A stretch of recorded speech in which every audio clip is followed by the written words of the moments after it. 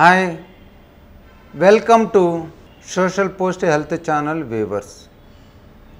I am Dr. Chava Anjaneyulu, Senior ENT Surgeon working with Asian ENT Care Center located in Panjagutta, Hyderabad. Asian ENT Care Center is having all the facilities for diagnosis and treatment of ear, nose, throat problems, allergy problems, hearing problems, snoring problem, voice problems both in children and adults. They treat your problems with the equipment which is important for the disease. Like sinusitis, we use endoscopic sinus surgery with micro microdebrider. For laryngeal surgeries, we do surgeries with laser under microscope. For snoring surgeries, we do surgery with the Coblator. So, this Asian ENT Care Center is having the facilities, equipment, all which are helpful to treat all diseases of the ear, nose, throat. Some children having the recurrent respiratory tract infections, especially cold. Many parents they are coming with the problem. Our children is having the problem. We are giving medicines subsiding. Immediately we stop the infection is coming back. Nowadays many children is having this problem mainly because of the lifestyle. Because of the inadequate physical activity, lack of ventilation in the home, unhygienic circumstances, mainly this will cause the children to get the recurrent respiratory tract infections.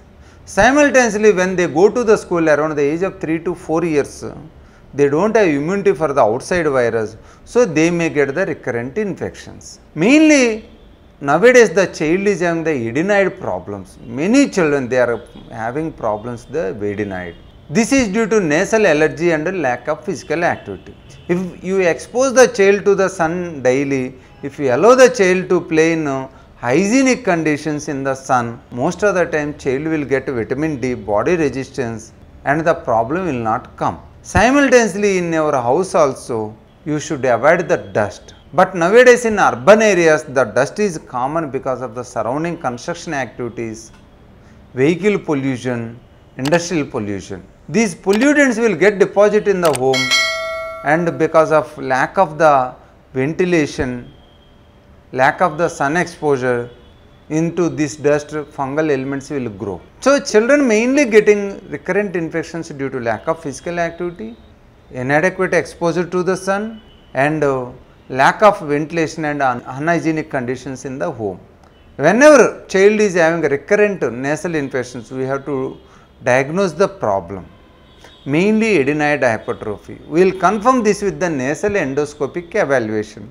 If any child is not cooperative for nasal endoscopic evaluation, we do the X-ray of the nasopharynx to check the adenoid size.